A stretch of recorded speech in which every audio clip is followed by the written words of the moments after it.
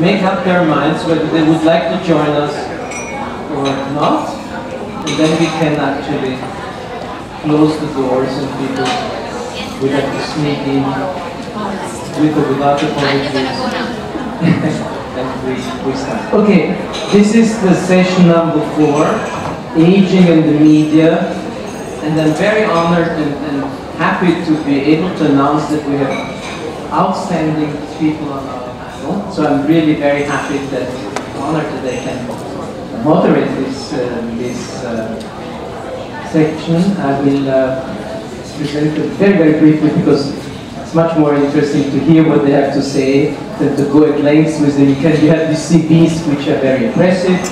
Uh, we start with Simon Cox, emerging markets editor of The Economist based in Hong Kong. He has written numerous reports, none of them yet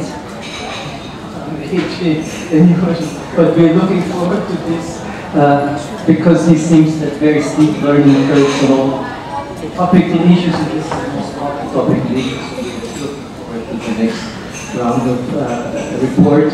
Uh, yeah, please. You, start. And the strategies, I understand, will be structured have five minutes to give an overview of how your reasoning would go, and then elaborate later on among ourselves, and then within uh, the, the whole uh, auditorium, and the audience will have a say as well. And so we hope to make it uh, uh very lively and interesting and interactive. Simon, please. Well, thanks very much. It's a, it's a great pleasure to be here. Um, so journalism is mostly about finding good examples. Uh, and so I'd like to share with you uh, my favorite example of what we've been talking about today. Um, so this is uh, Nigel Farage. He will be known to many of you as the chief proponent of Brexit, uh, Britain's decision to leave the EU. This is Keanu Reeves, who will be known to many of you as the star of Matrix, Speed, Point Break.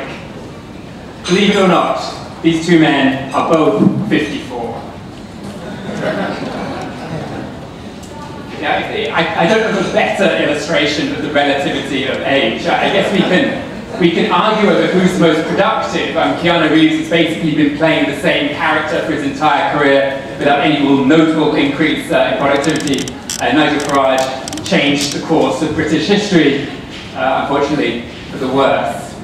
Um, in preparation for today's talk, I thought I'd look at uh, The Economist's uh, past coverage of aging. Um, if you punch the term aging into our historical archive, uh, you actually get uh, a big increase in hits uh, in the late 80s. That seems to be when it really became a big issue, certainly in the West. Um, I checked out some of those articles a few of them were about um, distilling Jack Daniels whiskey and, and the art of uh, aging those sorts of um, uh, beverages. But there was also some good analytical work about the benefits of allowing older people to work for longer. I think the basic analysis we've had since the 80s has been fairly consistent and I would say pretty good. Uh, some of the imagery, though, could probably use some improvement. Um, I found this cartoon from an article in 1989. Uh, this is supposed to represent America's elder generation, a heavy burden on the working age population. I think that the view of the elderly uh, as a burden, as a fiscal challenge, has again remained pretty consistent, but our um, tone and our imagery has gone through uh, some evolution. Um, I remember there's a rather beautiful cover same image, essentially the same substantive image, but a much more uh, beautiful rendition of it uh, about the particular burden uh, that Japan faces.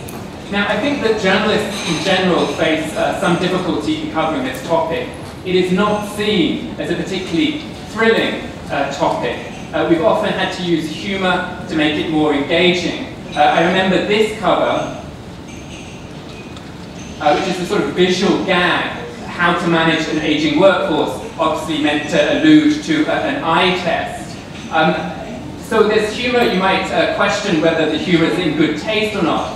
But I, I bring up this cover because I distinctly remember um, the editor who chose this cover being teased by one of his uh, predecessors, an earlier editor of The Economist, who said, gosh, you know, what a boring topic, it must have been a very slow news week. Why did you decide uh, to put the question of demographics on the cover of The Economist when normally you'd have things like presidential elections, and you might have wars, you'd have uh, huge moments at stake.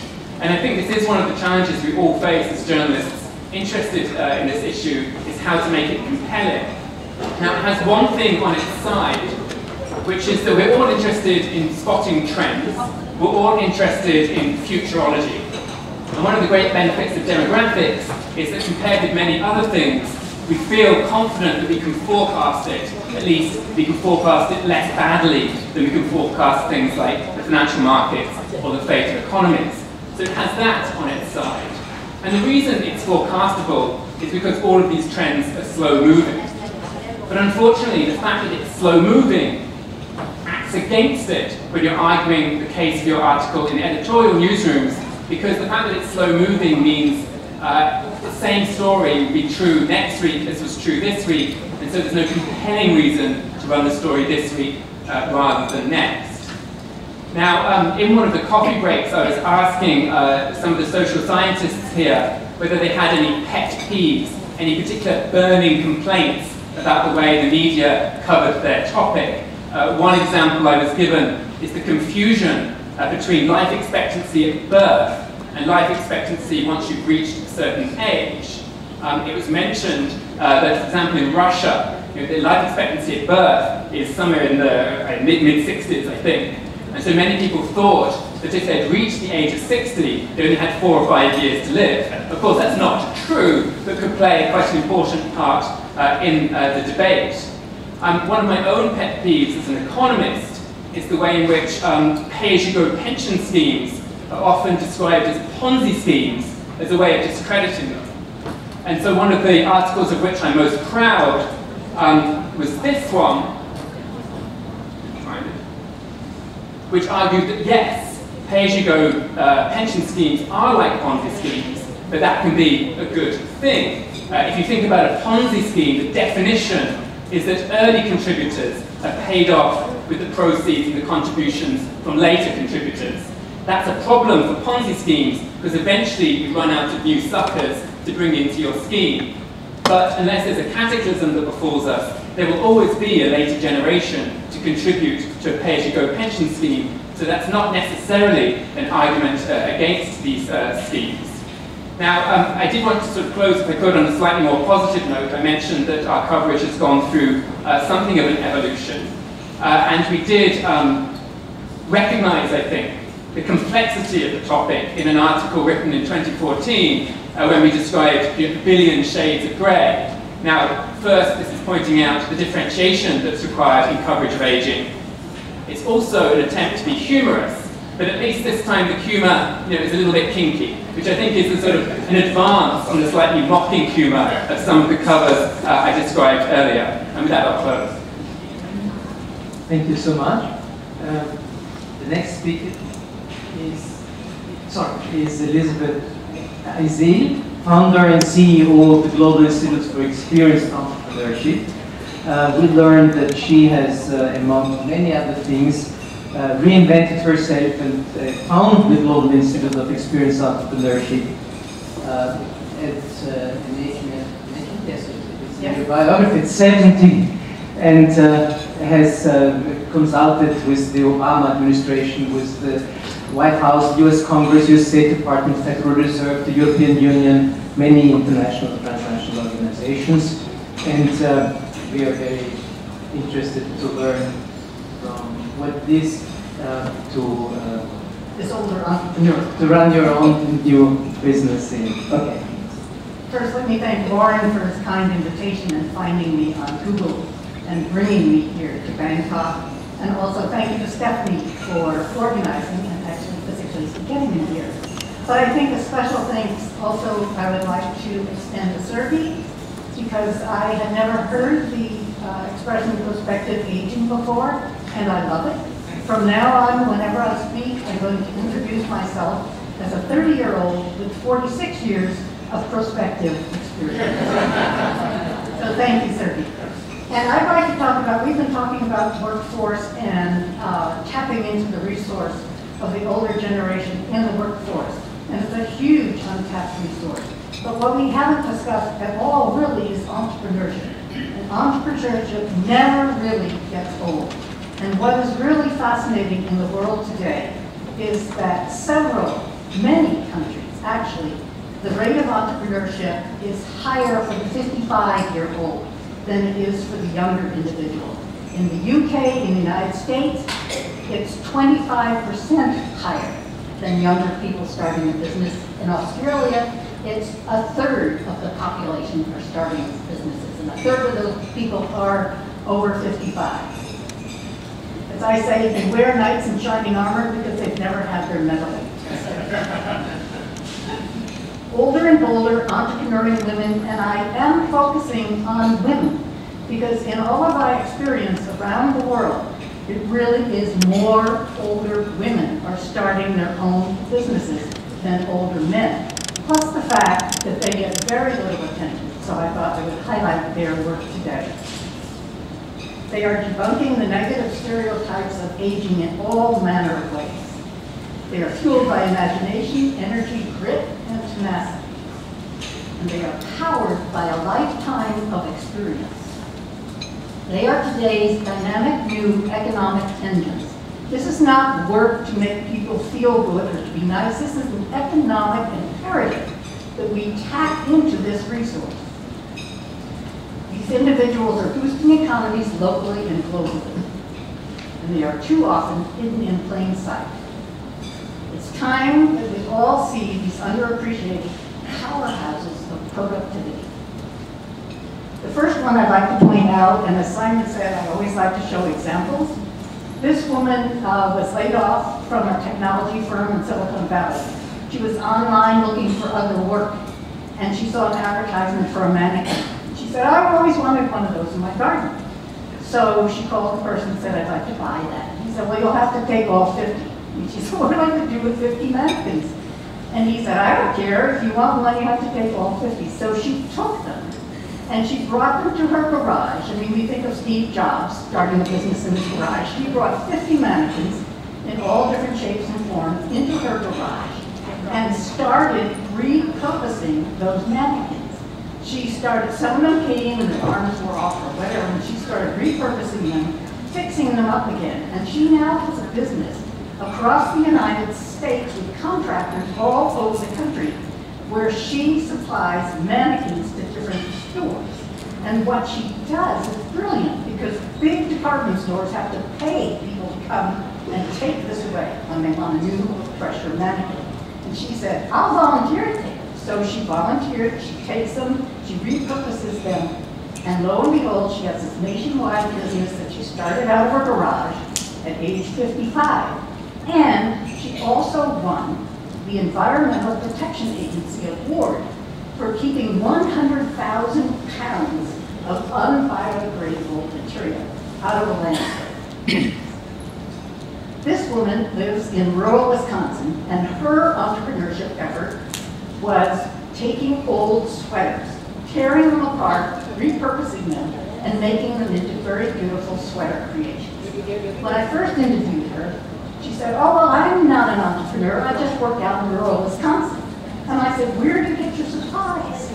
Who, who helps you mail these, your mailing materials? And she said, well, I never even thought about that. So she's very much boosting her local economy. Pearl is one of my favorites in her Happy Canes business. She got tired of her old black cane and she started gluing some flowers on it. Her grandson came and said, where did you get that? She said, I made it. And he said, can you make some more? And she said, well, I guess I could. And so she, to make the story short, she started selling them on Etsy. And it got so busy and in such high demand, she lives in a senior housing facility.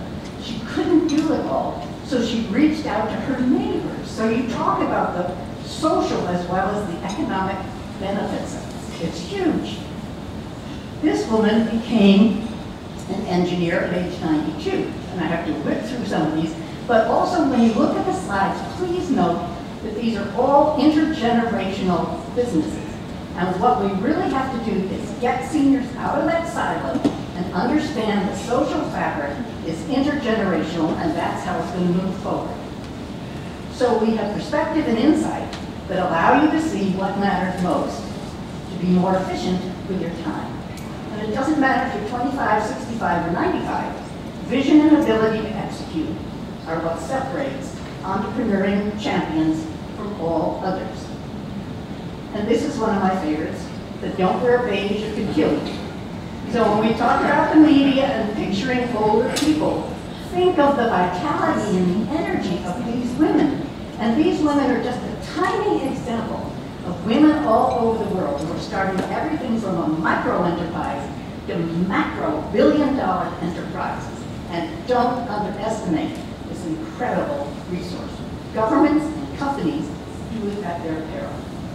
In terms of investing capital, as someone said earlier, human capital investment in these businesses, businesses and venture capitalists are just beginning to see that investing in a senior entrepreneur is a good investment because the senior entrepreneur's business, 70% of those businesses are in business after five years versus 28% of younger businesses. So I'll stop there. Tell I get very passionate about this. Thank you so much. So we can all take with us a, lesson from life. Don't wear beige. It will kill you. At any age, even if you're a young person, especially a young person, you may look uh, not so young anymore. Uh, now, the next uh, speaker is Mr. Steven Petrow, book author, award-winning journalist, Washington Post, New York Times, USA Today. Um, so he has uh, been uh, very, very successful uh, in terms of uh, being read, not just listened to. So we have the privilege of listening to him and maybe also starting to read some of his. Please. Thank you. I want to um, also thank Sergey for inviting me. And um, just to say, I was working on a piece last year when I was 60, and it was about my midlife crisis.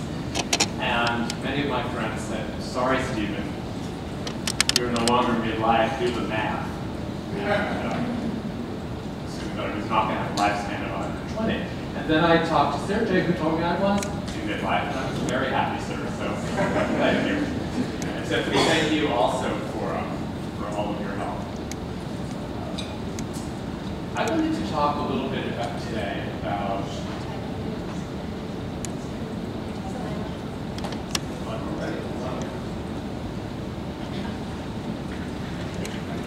um, how, how we can work together. Because when I think about bridging research and policy, I think journalists are right in the middle of that.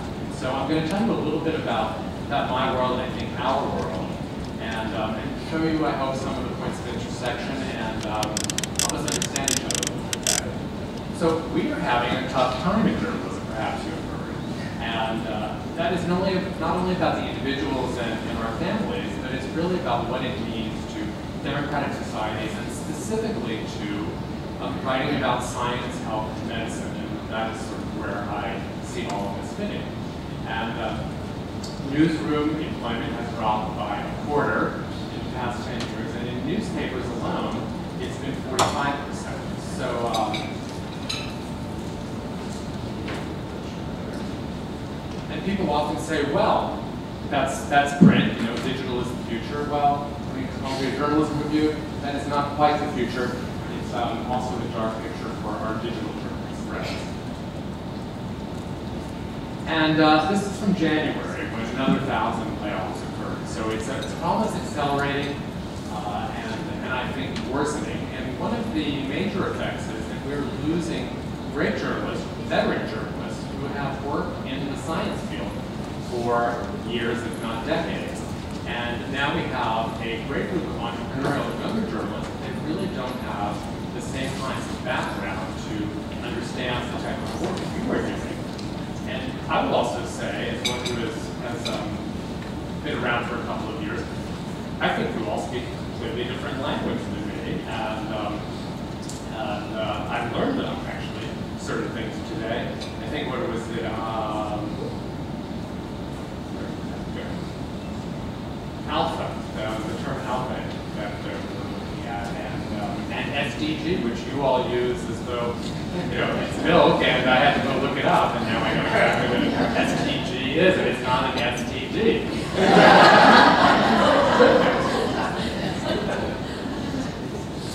we are also um, in a political environment now, and this is this is a very U.S. perspective. I apologize for that, is that is where I'm coming from, and I know that our president has an impact beyond our own borders, uh, which will of course be made more secure once we have that wall.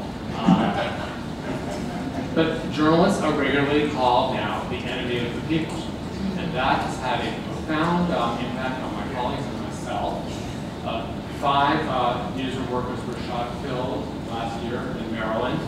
Uh, many commentators and columnists made the connection between the political environment and, and much of the president's words on what happened there.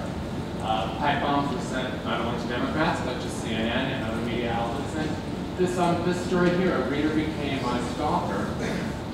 Is this the new norm for journalists? Well, that was my reader, that's my story. Uh, so few journalists have real scientific knowledge. That kind of goes back to um, what I was making. There are a number of resources, and there's actually so many, many bright spots too here. And I just want to point out a few of them. So the American Association of Healthcare Journalists has really in-depth resources for us on aging. This is a, a top-line um, topic sheet. Then they go into um, resources and tip sheets on a variety of topics. So all those resources are very helpful. Uh, the National Press Foundation, Making Good Journalists Better, uh, runs fellowships and trains journalists to cover aging better. And I, I participated in one of these. These are some of the um, you know, some of the, the, sections that we had. Um, reporter tips from each other and um, also using data to report on an aging nation. Um, finally, I want to just leave you with a model. Another, um, another fellowship that um, participated in at the National Press Foundation was on mental health issues. The Carter Center, that's Rosalynn Carter, the uh, former First Lady, uh, produced a journalism resource guide for, for behavioral health. And talking about the importance of the language they use, words, which I think has applicability to how we all work here today. And it's a very helpful guide to my colleagues. Um, also just kind of a, an index of terms, maybe SDG would be in there um, among other things. But uh, I think this is the kind of tool that um, would be a great partnership between us. So um, thank you very much. Thank you, Steve. Now is the um, pa Paola Scommegna. Uh, is a senior writer of the reference Population Reference Bureau. Um, I understand communicating demographic research, health, well-being, aging, in a non-technical language to a broader public. So this is something all of us should try to do, whether from, you know, as journalists, as translators.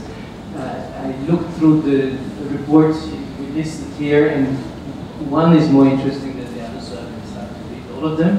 Uh, and uh, I think this is uh, type of work uh, badly needs, so please uh, share, share with us uh, your experience in this work of translating scientific knowledge into.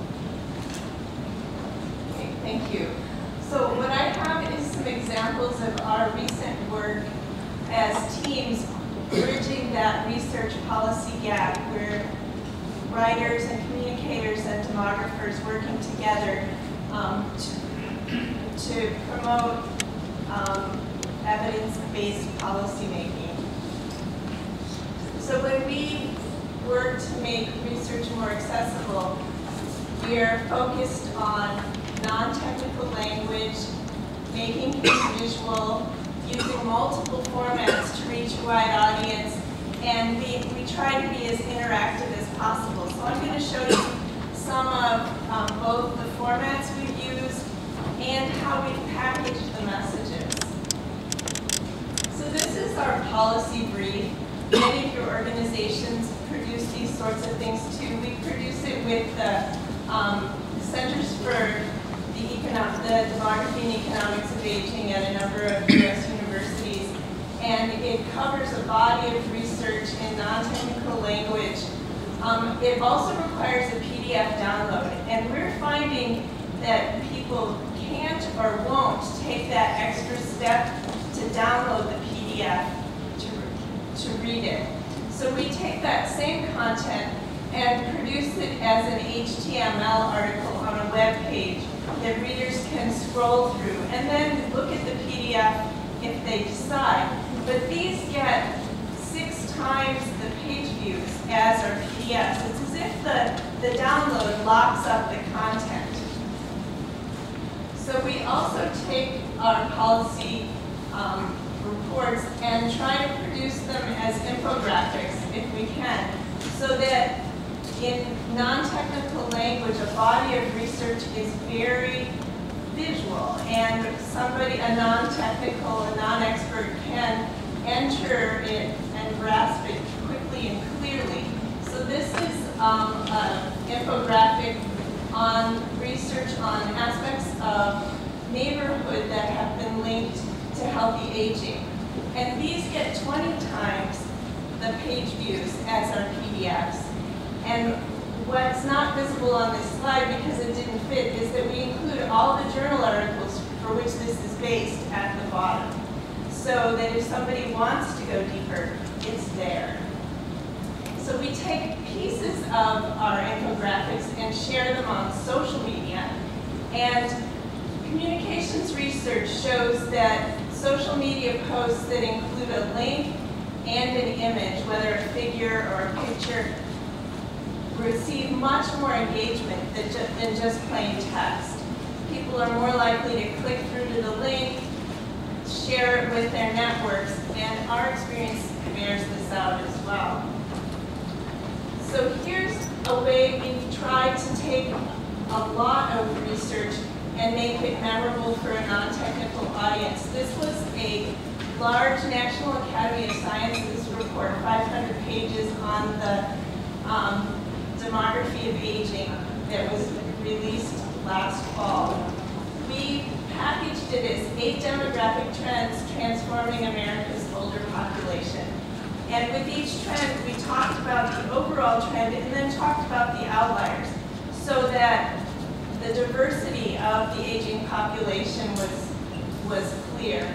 So for one of the trends, more Americans are working past age 65, but there's, a, there's an increase in those um, with low levels of education who are leaving the workforce early due to disability. So we can talk about that diversity.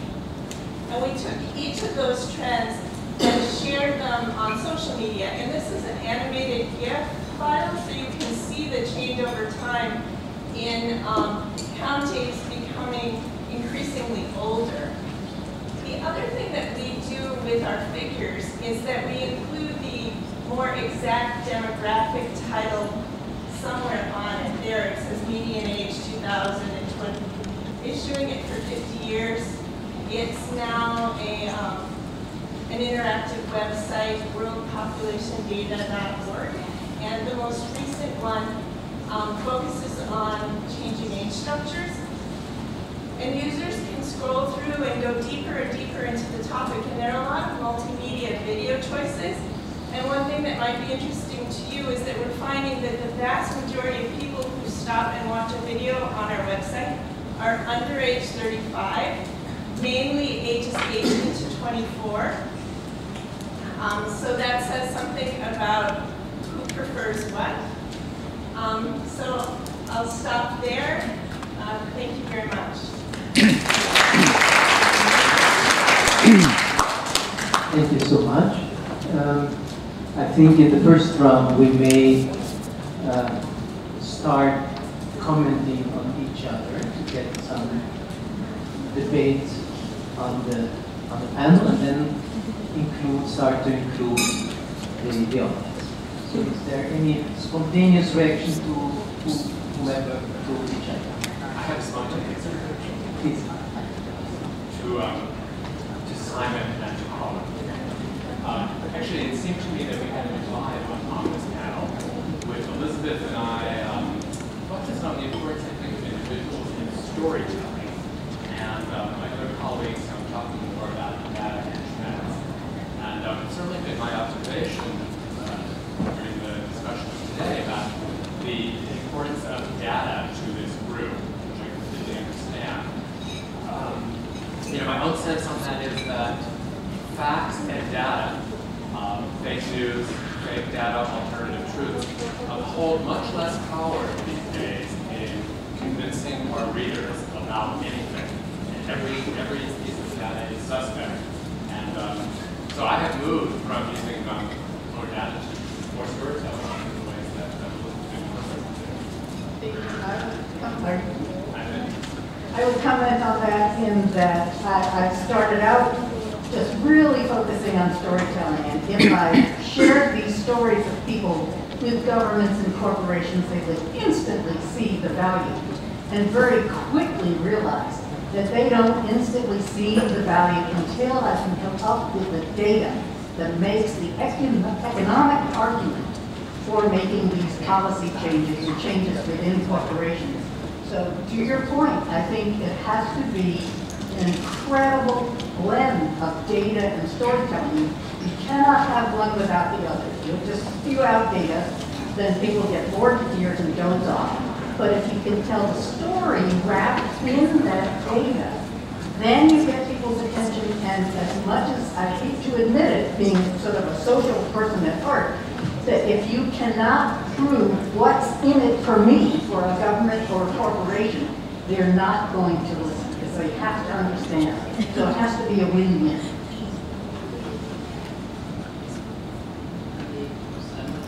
Like to come in at this Uh, so Any piece of any piece of data suspect? Question mark versus storytelling. You're a great storyteller, so how, how do you how do you manage to kind of integrate this? Uh, I think I'm unusual amongst uh, journalists in um, starting with the statistics and then looking for a story that illustrates the statistics. Uh, I think um, journalism privileges storytelling. There are many reporters who will only trust something they've seen with their own eyes, only trust something they've been told by you know their taxi driver. Uh, I think that's uh, awfully dangerous. I mean, I'm enough of a social scientist to think that's horribly misleading. And uh, a story I covered for a long while was China's economy. And it was remarkable to me that an economy that even then was over $10 trillion, people thought they could understand that economy through anecdote in a way they would never dream of doing with the US economy. They thought if they visited one ghost town, that told them everything they needed to know. Uh, remarkably misleading.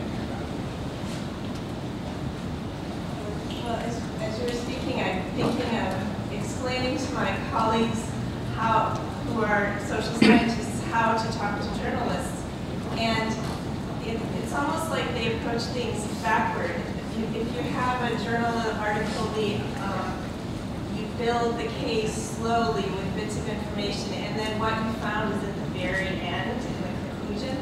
And journalists want it the other way. They want the conclusion first, and then they'll, um, and then the details. So it's as if you're often coming at things from different, very different perspectives. Is it true that you lose your readers the first five seconds, minutes, whatever, if you if you lose them, or does one have to start with a punchline title? Yes. I agree. Okay.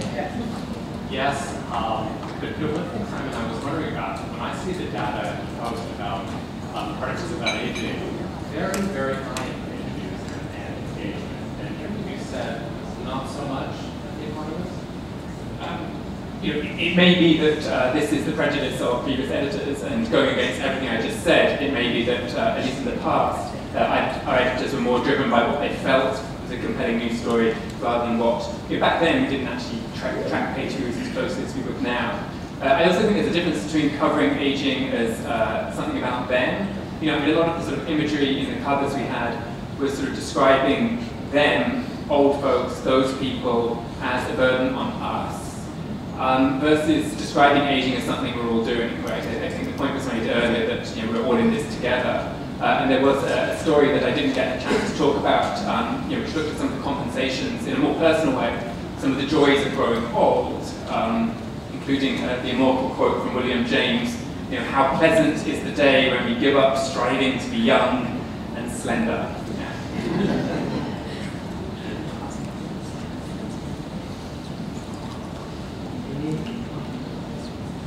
So please, Wolfgang. Uh,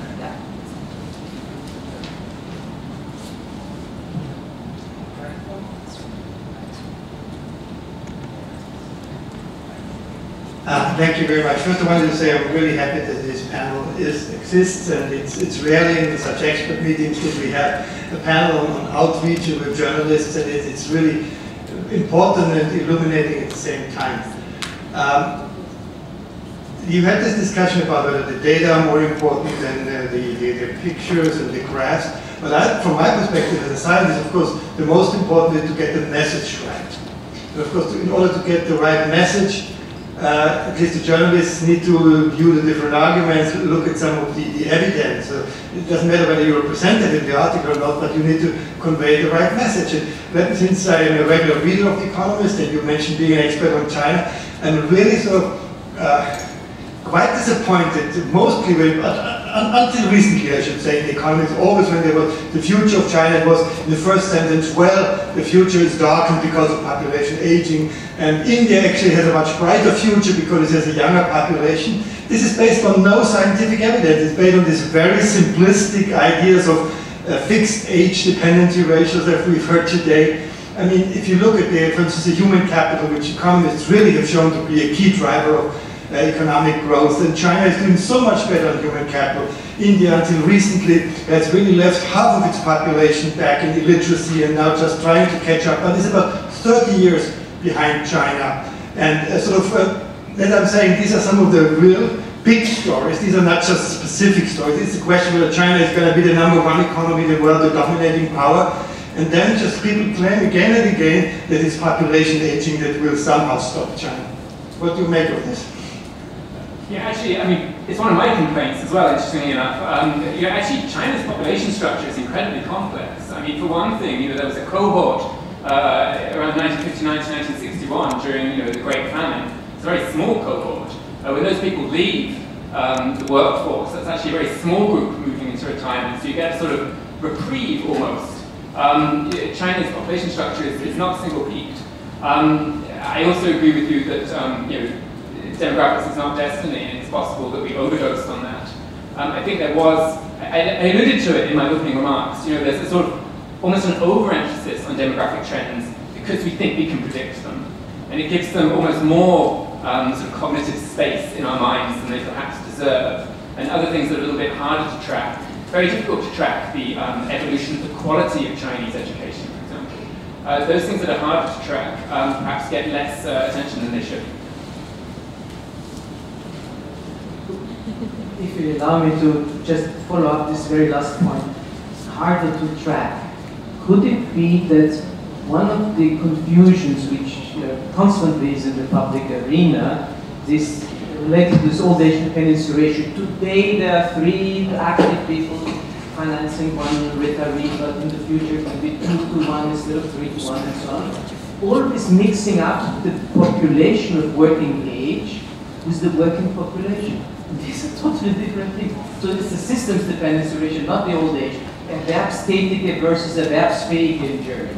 It's a totally different word, but it's as if it would be the same. And we have constantly, and what we see is that this era, so to speak, circulates so rapidly that once they are in the political, the public the arena debate, you cannot ever, because people are kind of in a copycat world, copying from each other and repeating the same errors, stupidities, I'm sorry, they have read somewhere in an in a medium which has the reputation like the Spiegel archive or the Economist Intelligence Unit, uh, they are so good on, on checking the, the, facts and figures and the data that they cannot err except they, they cannot err except they occasionally do. And I think this is this may be one of the problems in the you know how to how to undo circulating falsified information. Okay, Um, so again, I, I, agree with you, um, and uh, sometimes I'll go through our copy correcting that. Um, I'll say a couple of things. One is that um, our confidence in sort of labour force surveys in China is less than it would be for an OECD country. Nonetheless, you can look at the National Bureau of Statistics and they point, they uh, put out every year um, uh, force estimate the number of people uh, actively participating in the economy, and I believe it's still going up. I believe it's still going up. It was the last time I checked. Um, can I say something that will sound remarkably trivial to you, but I think matters? Working age population is a long and ungainly phrase. Workforce is simple. We don't even put a hyphen in there. And you, would be amazed at what difference that makes in editor's minds. Yeah. Um, hi, I'm Sasha Shapashada from uh, Economic Commission for Africa, based in Addis Ababa. I have a question for Elizabeth on entrepreneurship. Um, in Africa, majority are self-employed. Uh, not sure if you can call them entrepreneurs, but overall you have people who are motivated by necessity. They have no other choices, and then you have people, uh, entrepreneurs who are motivated by opportunity. And we can actually, uh, there's data on, uh, on, on, from many African countries. What we find uh, quite often is that knowing someone else who started business in the past couple of years uh, is a good predictor of you becoming a opportunity-driven entrepreneur. And I'm wondering, based on the stories that you shared with us, uh, to what extent, uh, coming from Africa, my interest is more on the youth bulge, but uh, it's important to bridge, I think, the youth with the older. I'm wondering if, uh, Uh, based on the stories, is there any, uh, you know, uh, mentorship or some sort of connection between those who started their businesses later and those who are starting to uh, study at earlier ages, just to Thank you. Absolutely. Thank you for that question. That, that we really focus on that catalyzing the experience across generations. And there's some wonderful examples in Africa of older African women who have these little family subsistence farms. And they can take care of their families, but it's really isolated to, to the individual family's economy. And young African women who are being introduced to technology. There's fabulous programs about coding in Africa and getting online. And so the younger people reach out to the older women farmers and said, we, would you be able to create enough product that we can bring it to the market through the digital technology. So it's an incredible partnership. The other really fascinating one in Africa that I love is between older women and younger women. Again, it's a technology-related product in that it's, it's um, the, um, the solar panels. And the younger women have created this marketing program for solar panels, for solar panels, but did not have, know how to get it out to the villages. So they went to the older women and said, can you help us get these in the villages and educate the people? Everything, entrepreneurship has to be grassroots stuff. We cannot layer it over and say, this is what we do and this is terrific. So they went to the older women, and the women came forth with their donkeys. And they, there's fabulous pictures of these women, older women and their donkeys, who have, like, instead of saddlebags, they have solar panels on the side. And the younger women come and teach the villagers how to use these. It's absolutely brilliant and so powerful. And, and again, it's so far-reaching. We talk about individual aging, we talk about individual economics, but this is society aging. This is environmental protection and building our natural environment. So it's so expensive to just try to limit it to entrepreneurship. And I keep saying it's not just entrepreneurship in starting a business, it's entrepreneurship and how do we think entrepreneurially about an aging society and how to optimize it for people of all ages. Thank you so much, Elizabeth. We, we just learned that visualization does not only mean visualizing mass data, but actually images may be more sticky to your mind. So the solar panels on the donkey we, you, you don't forget it. once you, once you've seen the herd. So I think it's very important that different modes of visualization have different kind of stickiness in terms of success. Uh, the director of the Malaysian Research Institute on Aging, uh, Ms. Ametis. Yeah. Next. I would like to ask, um, like for us as researcher, we produce our data and then we are also uh, trying to do advocacy for the information that we want to do. So do you think that it should be us doing it or we work with other partners so that we, so that whatever message that we want to come out, then it will be a better, uh, in a better perspective. Because we have this dilemma of, we just want to produce data, but we know that we have to do advocacy for the data so that the policymakers will take it up. So do you think that we should do ourselves or we should work with collaborators so that the messages that, that we come out from our data would be more uh, receptive by other people? So this obviously is a question to, to all of you. I'll start. So in, in my experience, many journalists have trouble interpreting data and need help from you all. So um, I think that you need to produce the data and then you need to interpret it and also help translate it into the type of policies that you would advocate for. Um, I would also say, the gentleman over there made a point earlier about the right message. I think if I were to go and talk to five of you or ten of you and say, what was the right message or the one message that came out of this meeting, I would hear different messages. And um, so the more that you also can cooperate and, and um, collude, um, you help to um, simplify the message in a, in a way for, for us. And I think you'll have a better chance of getting that across for all kinds of reasons. Some, there's some of them not so for this disillusioning uh, truth. Any, any, anybody? Okay, so then we continue with the, the very lively audience, please. Yeah, uh, well, my, my, my, my comment has to do that in this case when we're talking about demographic data, which has the advantage of being more certain than other kind of data such as economic scenarios. Demographic scenarios are usually more precise than economic or political scenarios. And uh, I share the frustration that Wolfram mentioned earlier when you try to communicate these very precise, for example, scenarios regarding aging, and then you don't have, uh, uh, I don't know, uh, you don't have echo in other sectors or in terms of how we are communicating. So it's very frustrating. But um, I, I, I, I think it's very interesting that you said that data is less powerful today. In terms, What is less powerful? Like, you said data is less powerful today. So um, it's what we do, and we have to continue doing it because it's how we do it. But I do think that we need to change the way we, as scientists, communicate demographic research. no? So in a way, um, the question is, so you have this tendency where data is less powerful when you have more sources of information which are not uh, strong data, and to what extent do you feel that um, the, the, the, the, the media has this openness to move still towards the scientific community when you have all these other sources of, of data that are more attractive. No?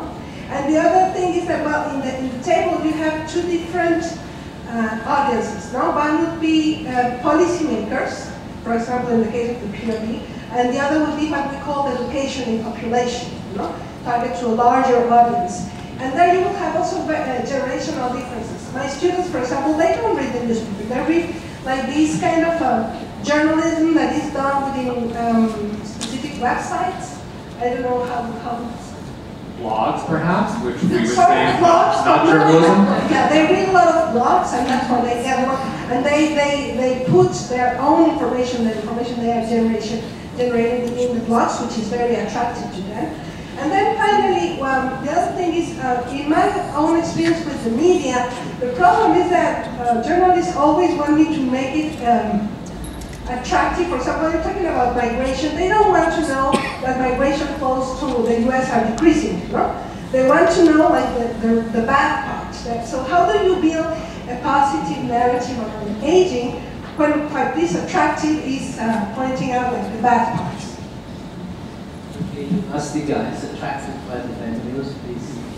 Well, I've always learned um, never to say always and never, uh, because journalism and journalists are a, you know, a very large and, and diverse group, um, and often confused these days by, by the public as to what is a journalist, what does a journalist versus many of these other voices out there.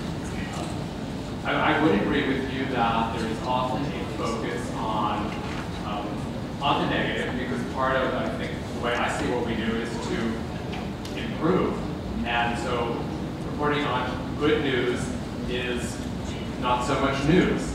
But I mean, from what I've heard here today so far, there is there's actually much great news in, in terms of the, the definitions that you're using, the data that you are presenting, passion with which you are presenting today. The message, one of the big messages I'm taking away is the passion, the engagement from so many of you in what you were talking about. That has really um, with me. I'll just add to that too in terms of the overwhelming negative data about aging. And it is overwhelming and it's so easy to perpetuate that negative message. So I'm constantly looking to research to find out what, what's the data point that is going to get people's attention that this could be a positive. And, and I was doing an OECD program in Spain and a woman came up to me and she presented me with some research that they'd done recently in Barcelona. And she said, did you realize that according to this research, which I've studied and it's, it's, it's incredible, she said, the government has found out that for every euro they invest in what they call mitigating the retirement syndrome. For every euro Spain invests, they get 129 euro return on that investment. And it was like, whoa. Know, of course, I didn't, I thought that's, not, I didn't believe her because it was such an incredible statistic. But that's where we go back to the data. And she showed me the data so that I could go with, to audiences around the world. And as they're talking about, well, isn't this nice for older people?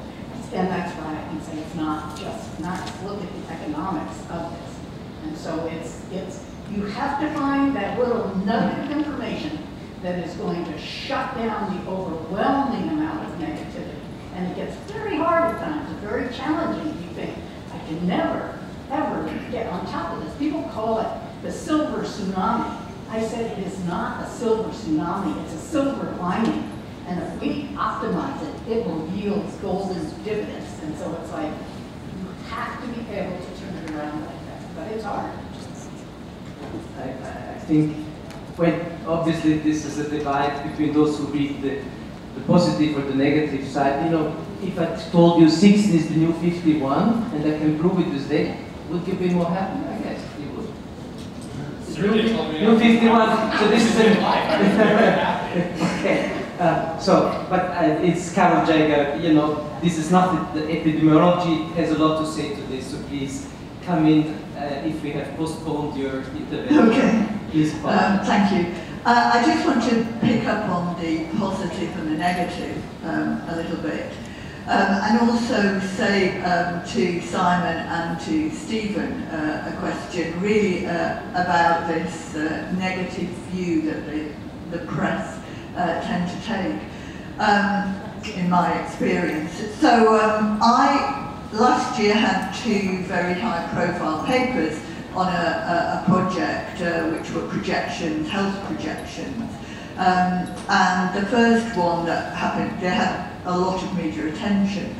Um, the, the one in Jan that came out in January only had a negative message, and I'm, I'm not apologising for that. It's, you know, it, we need to know what we're facing, in and this was in terms of multiple diseases. Um, so that was the, the only message that could come out. But, but the one later on in the year, which I'll present a bit of tomorrow, um, did have some positive um, news in there. Um, and it was really difficult to get that out. And I'm not talking about, um, you know, the broadsheets like the, the Mail and the Mirror. I'm, I'm talking about the Times, I'm talking about John Humphrys on Today. I was desperately trying to get this nugget of good news in and couldn't because all they wanted to hear was the bad news about high dependency increasing. Um, and, and, and so, you know, I'm, I know bad news sells, but it's really, it is quite hard to get that over. And, and then the second thing was, I think it behoves us to be better trained and to train our juniors well to be able to communicate with you.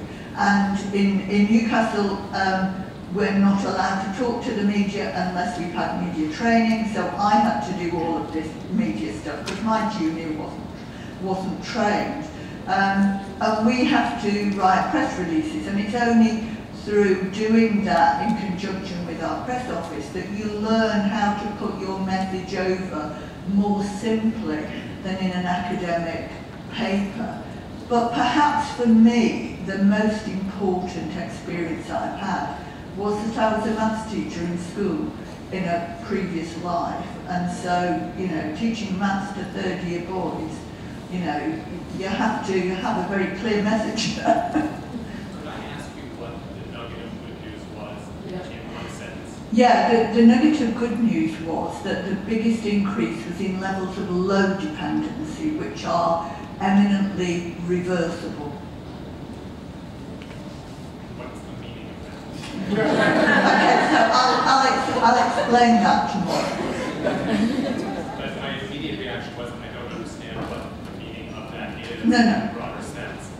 No, sure. Would we be why I might pass? But, but, but why, why should you understand um, that less than you would about increases in high dependency? Maybe Simon. Um, let me make a couple of points if I could. Um, I'm not completely sure I, I get your point, but it sounds like um, what you're talking about is uh, you know, uh, elderly people who um, you know, would need uh, a certain amount of support. That, yeah, yeah. And, and so the, um, the big increase in the elderly population is not those people who need a lot of support, it's people who need very little support and it therefore be easily addressed. Um, I think you know, possibly one difficulty in selling that story is that um, uh, there are two directions to it. Uh, dependency is going up, but it's not the bad kind, it's the good kind. So it's an, amelio- an amelioration of a negative thing. Um, and so you, asked me for a sort of, it's a slight sort of zigzag in uh, the way you pitch it.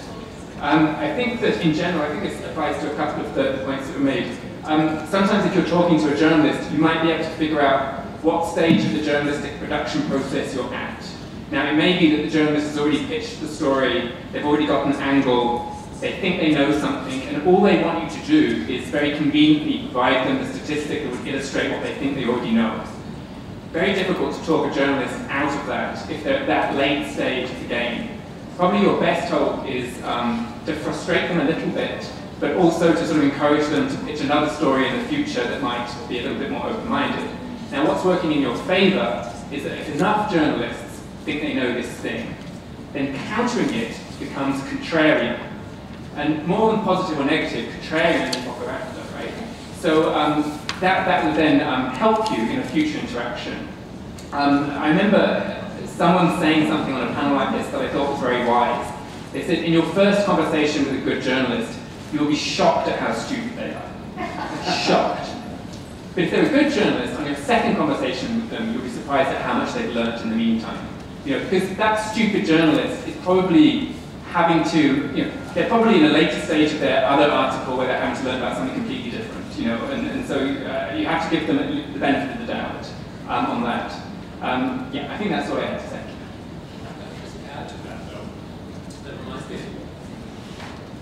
That reminds me of the importance of cultivating your association with journalists, so that we have a relationship. You can explain to me, well, why are you interested in high dependence and not low dependence, and help help me understand that because when we trust, we will go back to you time and time again. Yeah, I should say that, that, that my interaction has been very positive generally. if People have come back to me and asked me things specific to them. Yeah. Um, um, uh, coming back with Carol's point, whether bad news actually sell, I'm not, so sure. Because if it's always the same stories, always the same quote unquote news, they are not news any longer. And so, as Simon was pointing out, it seems, you know, some, it becomes so boring. And so, so that some surprising news, even if they're good news, may actually be more welcome because you have heard the very same story negative so many times. So you can't, you know, the, the, the number of dependent people will, in absolute numbers, but the share will be much less. Or the fact that the, the, the, share of those 80 plus among those above 65 will quadruple within a generation may mean that you have higher absolute numbers of people with disabilities in full dependency, but so much less than you would normally expect. And this is a great good news. But the question is, how do you frame it? How do you know what, what packaging you do to the same kind of uh, facts? And I think we have to learn a lot as social scientists to how to cater towards the need of people who may have, you know, very short time to hammer out so many thousand signs, including, you know, and we are not, because we have all the time in the world, and if it doesn't come out this month, the new book, so it comes out next month, and people compare. This is not the case for if you, if you have an article in the Washington Post or in, in, in the Economist. I imagine, I know actually. So having written thousands, mean, you know, op-eds and articles, and this is a different, this, this is a different métier. And this has its own laws, and we have to respect them if we want to get messages across. And I think we, we are not very good at this, honestly. So, yes, we have to learn also. We always ask others to have steep learning curves, but we have not very steep ones ourselves. That, that's my experience. And so, talking not to each other, but to people whom we have to convince that this is worth getting attention, may need some discipline on our side as well, I guess. Please. Uh, my, oh, Rita? Go. Uh, thanks. Uh, so many questions. Let me try to take just one. Uh, really nice conversations. Uh, I wish I, I wish that there were more stories investigating disruptive innovations that not simply empower individuals, but actually come through on what sorts of policies or interventions um, could be kind of put in place. Because I still feel that most of the stories that we're reading um, are either how an individual can improve their lifestyle or highlighting a really interesting person who's had a possibility to make a change. But from a, from a game-changing perspective, I feel that there's not enough that's looking at not just technological change, but social innovation as well. Because not just what I mentioned earlier, how are we going to release ourselves from sort of the systems from the last century to really prepare for what our colleague from Japan mentioned as well, that, you know, people are going to be living to 100, more and more. I mean, uh, this is happening. And to what extent are we really going to change our, our uh, the way we're currently set up? I mean, now we have, uh, everyone is running for uh, electric cars. Uh, kids are now missing school and demonstrating. Maybe we're reaching a tipping point, maybe, in one area. But what's going to be the tipping point that's going to make people realize in different countries, in different areas, and those are the sorts of stories I'm hoping to hear. Um, because on one hand, people need better understanding, and on the other hand, we want to promote action. Thanks. Thank you, Ritu. I have also uh, Professor Shereen Hussein, who also claimed that simultaneously, so please. Well, thank you very much for a very engaging discussion. I've been listening um, I have to say I'm very frustrated with media when it comes to aging. So I've looked at different, um, there are a number of studies actually to look at the portrayal of older people in the media, different forms of media. And it's usually very negative. And then when you add to that migrant older people, ethnic groups, whatever, that creates a lot of tension and a lot of negativity that can be taken back to the community. So communities of people, older groups, they do feel isolated. So I've done a couple of uh, research projects in the UK. And it's this kind of impact of the negative medium. So it's, it's there were two, two um, you know, sword with the two sharp points. Um, and I think there is, there is a need to, um, you know, I'll outgrow the tipping point. But I think we're far away from that. There is even um, the examples that Simon goes, usually kind of negative imagery. Um, it doesn't sell very much. It's a very difficult topic to talk about. It's always portrayed in a negative way. And it does sell. And it's exactly like migration. You know, most of the news picks up in a negative way, even if you do research and you show negatives and positives. And when these things combine, it can create problems. Um, so where is the position of the media? No, you're not representing media, but I mean, you can give some slides because it's, it's a real issue. Thank you. If I may, the point I wanted to make was exactly related to these last two points. Could I just add on to that? Okay. So exceptionally. Very, very, Stuart Gietel-Basten who is next. Okay, please. But, but very briefly, the, the thing that we haven't talked about, and, and actually in this case the media I think is just um, indicative of the wider society as a whole, which is that our uh, perceptions, our understanding of the reporting media, of the media itself, is related to our ingrown or, or, or deep-seated perceptions of older people, which is uh, being captured in part of the work that the WHO is doing around ageism. We are uh, even in the conversations and the discussions, the jokes, the asides that we make here in this room about our perceptions of being old, we laugh you know, quite happily about ourselves and quite happily construe old as negative, even here in this room. Yet if you were to swap old with any other characteristic in society, any other descriptor, we would be shocked to hear ourselves doing that. So that's the challenge that we have, is how do we shift that, and what is the role actually in media and the journalists, and you know, of, of making that happen as well? I'd like to jump in there in terms of um, it's as Rita said, talking about the individual stories about public policy changes. All of our work and all of my work in my organization is building the body of stories to promote policy change, and we can only do it by, to your point also, is stop making jokes about it and treating it, you know, as if it's some object of humor and turning that around and emphasizing the positive of it. We have a project right now that we're working on in England uh, with the local industry strategy groups where they have suddenly realized their workforce development, they're building sustainable economies in rural communities as well as cities like Manchester, they have to factor in the economic power of the older demographic.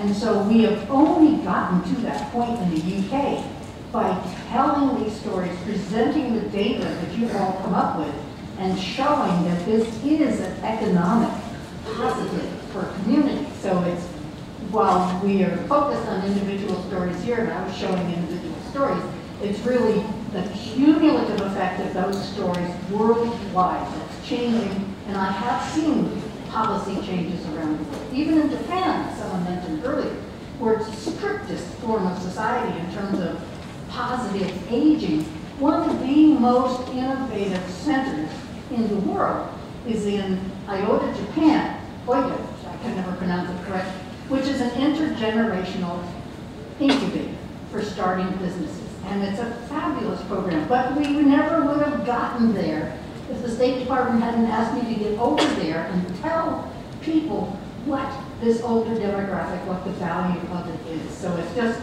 it's, though we seem to be focused on individual stories, and I admit we have to stop the laughing, that is horrendous.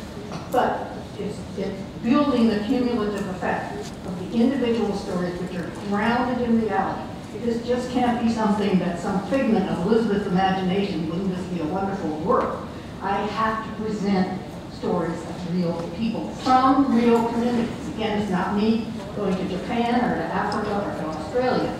It's finding people in those countries that prove the validity of this. Thank you so much. Can um, you know, one thing I hope that you've seen is that different journalists approach stories very differently. I'm a storyteller. Simon is a trend journalist. So I would also, if I'm in your seat, think, what kind of story do I want to have written? And tailor my pitch in one way for Simon and in a different way for me. Um, and I, I hear the complaint that you're making about the type of coverage. You know, one of the mantras that I have in approaching my work is fair and accurate. And that is what I strive for. Sometimes I fail. But that is the goal, but what, what is fair and accurate is, does have uh, billions of shades of gray, or millions of shades of gray. Um, so that, that's problematic. And um, I do want to echo, you know, I call it inter, internalized ageism. And I'm working on a, on a column now. I recently, when I had my last birthday, all of the birthday cards made fun of older people. And I have now been like scouring stores to see what birthday cards look like in general and what people are buying. And you know, older people are buying those cards and making fun of themselves and their friends. And that's as much a problem as, as anything else. Of course, one of the great benefits of getting older is that you can laugh at yourself, right? At least in my experience. Um, and and uh, if it's any consolation, um, you know, uh, people make fun of young people too. You know, the media makes endless fun of young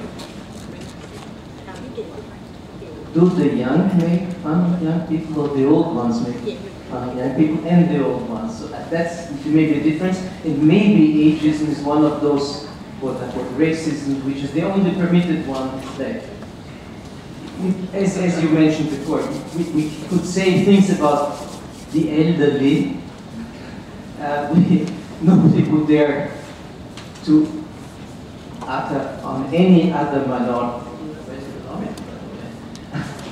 50 plus. Because it's an alternative genre of stories that are full of resentment, right? I mean, there's a whole genre of stories about how uh, the old have far too much power, uh, you know, they own all the houses, um, uh, they, they, have a lock on the electoral system. So there's a whole you know, raft of stories that aren't in the least bit patronizing, aren't in the least bit, they have not, a note of humor in them, um, but they're not positive, you know. So anyway, uh, Stuart, Stuart I apologize because four or five people squeezed themselves into Not played for a long time, but now you have more time than. They were all better than whatever I have to say. It's, it's fine. Yeah, um, so I'm Stuart Gietel-Basten from the Hong Kong University of Science and Technology. Um, so 65, is my least favourite number, followed by 60, because it's, it's quite remarkable that for the vast majority of people who have ever lived, nothing ever happens at 65. Nothing. Okay, in a few places, you might afford to quit. In a few places, you might get a pension from the social welfare. Well, nothing happens, particularly in this part of the world. And yet, it's used as a kind of uniform, universal marker of, of, of, of old and old age, and then everything that goes along with it. And then we talk this, nasty language of dependency and on. But I suppose, and you know, in the work of Sergey and Warren and other people in, in, in other ways, have clearly argued that this is a really rubbish way to measure aging. But yes, but yes, it's, it's absolutely pervasive. And uh, it can kind of have this knock-on effect that makes everybody think, well, 65 is old. So if they want to change my pension and make it 66, I'm working into my old age. That's not fair. So the question is, is whether or not you know, in the media, it's is it possible, or can you see a way for us to move away from this, to actually be a bit, thinking a bit more complicated in a, in a bit more of a nuanced way, to actually say, you know, the old age dependency ratio, which we see a lot in, you know, well, in the, it's unfair to say the economists because you're there, but we see a lot in the economy and in other, you know, lots of other uh, places. Do you think we could move away from to, towards something which is a little bit more complicated, a little bit more nuanced, takes into account regional variations and so on and so forth. So on and so forth. There we are. To uh, if you make the data easy to download and comparable across countries, then yes.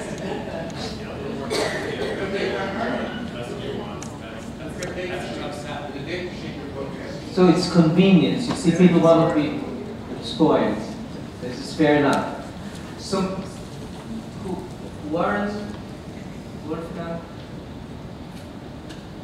Okay, sorry. Sorry. Yep. Hi, Andrew Scott from London Business School. Uh, this is a big issue, and I'm sort of trying to work out what to say that's simple and understandable. I kind of feel the need to say something historical. Stuart just said, can we replace it with something a bit more nuanced? I just want to make a historical point that for most of human history, people have never known how old they are. They didn't know the day they were born, they didn't know the year they were born. And starting about 150 years ago, governments started keeping accurate birth records. In the 1930s, we invented the song Happy Birthday. We now celebrate birthday parties, and we shifted to a chronological sense of age.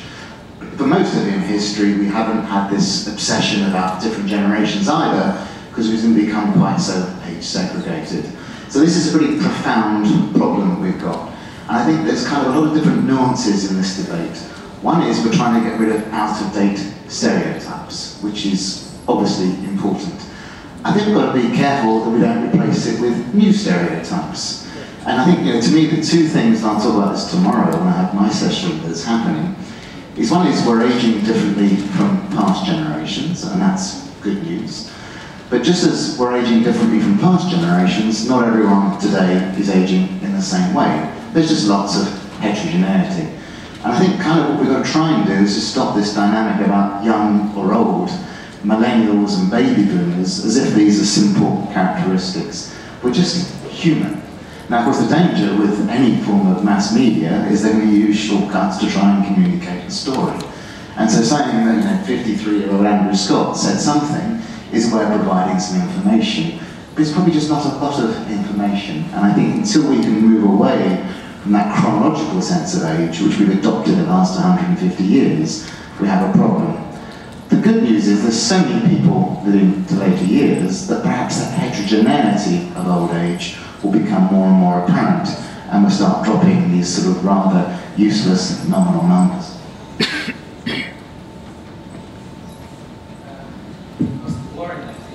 Mr. Chair, if I may, um, I thought that with all these discussions, I, I think it's a, it's really a question of values and principles.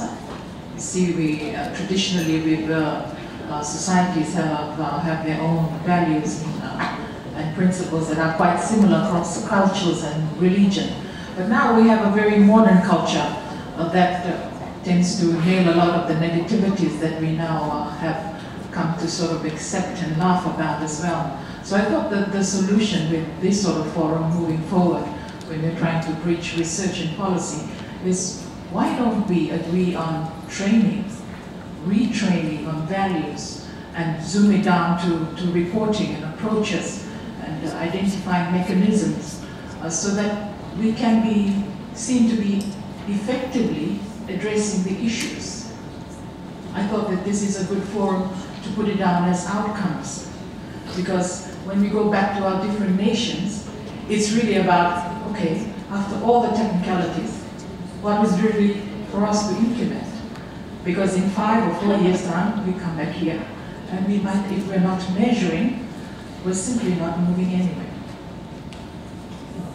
I, I, I like what you brought up because I think uh, the, the whole question again, this is a great paradox of artificial intelligence is driving us to a new sense of education and ethics. And Harvard has just started a new program about the ethics of artificial intelligence for undergraduates. So we are teaching ethics again in a way that we haven't in a long, long time because we have the danger of artificial intelligence perpetuating these myths through the algorithms. And so it's a, it's a kind of coming in through the back door, you mentioned earlier. But it is happening, and the technology is actually driving this back to the ethics of, of artificial intelligence and, and, how to keep it ethical and unbiased. Okay, thank you, Elizabeth. My apologies for if you don't know the names of all people who raising their hands, it's difficult not to make mistakes in the sequencing and the time order. Where people raise against, on my list is Warren, Wolfgang, and Caroline. If this is the case, please make very short statements because we want to get the very last round of, uh, uh, on, on the panel to respond to your queries, so please be short and concise.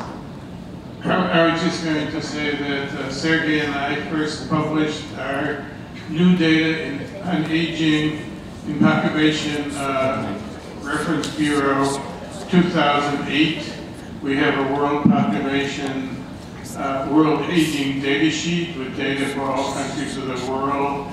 Our part of one of our new measures is on the UN website. All you have to do is click on it.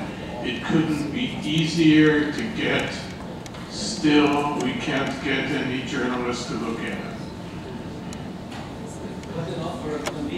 Please, other good news?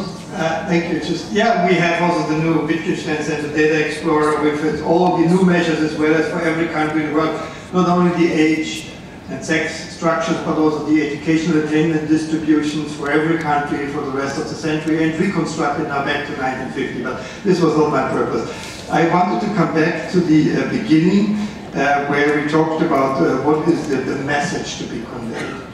And we now heard a lot about uh, values and the different ways of interpreting the data. But I think we should not forget in science, we typically are not satisfied with just having one opinion opposed to another opinion. But the of scientists, we then start hypothesis testing. We are thinking on what basis we look, have a closer look at the data and have some scientific dispute, peer review, and so on. So uh, I think that is an essential difference between how science works and how the, the media and the political life work. I just wonder, maybe you want in your concluding comment, say a word how you, you deal with this. It's not just one scientist having this opinion and another another one. We can go further, we can test which one is the better and which one is the more appropriate according to specified criteria. Okay, so will on the search for the ultimate truth. Please, Karin. Um, Finally. And I think it, it, connects to what, what was just said. What we have, so far we have spoken about those, the media who produce and the, the, uh, the science community, community that provides the information. We have not spoken about the recipients. And I think we, we really have to also think, and that leads me back to, to the question, what, are the break, what is the breaking news and the challenge? And I think we also have to understand who is our audience. And speak the language of the audience, target the audience, and the, the audience of the economist is very different from the audience of the PRB, and it's very different from uh, the written media, radio, TV, so I think that is very important, and it's a little bit a pity that we did not have time to also look at, at, this, to look in this uh, discussion um, at uh, at, at media and the presentation from that angle. But maybe in your last words you can say, share a few thoughts. Thank you. Okay, famous last words. Do all of us want to have last words or some of you uh, not? Please uh, enjoy your last words panel.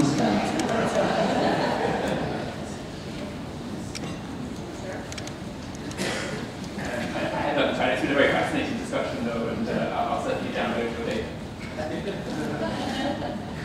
I think uh, one of the most important takeaways for me with this audience is your inquiring minds. And we must never lose that, because once we stop questioning, we won't come up with the answers. And the questioning, the inquiry is all about playing with ideas. And I, one of my favorite quotes is from George Bernard Shaw, who of course is a playwright, but also one of the co-founders of the London School of Economics. And his quote is, we don't stop playing because we get old. We get old because we stop playing. So we must not stop playing with ideas. You've got to keep challenging us and telling us, for Pete's sakes, get the story right. So do not let up on media in any form. Going to be a little contrarian and um, you know, I can say that your belief in science and data is not entirely shared by me. Because I think it presumes that all data is equal. And when I have um, had the ability to drill down, that is not true. So um, good, solid, peer-reviewed data is crucial in me believing the work that you do. So the generosity uh, of uh, one person on the panel helps us to close the session with one minute delay. I apologize for that.